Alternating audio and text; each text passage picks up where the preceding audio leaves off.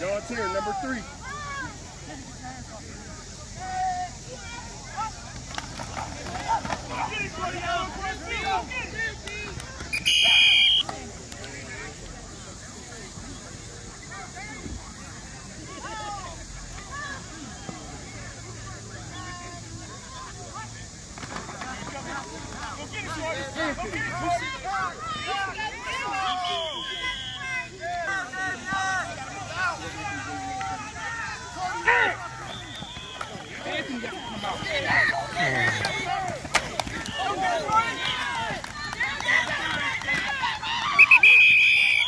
Anthony, that's beyond lane